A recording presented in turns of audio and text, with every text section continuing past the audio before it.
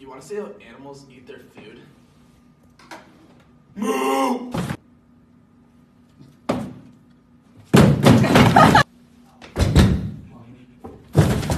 Moo!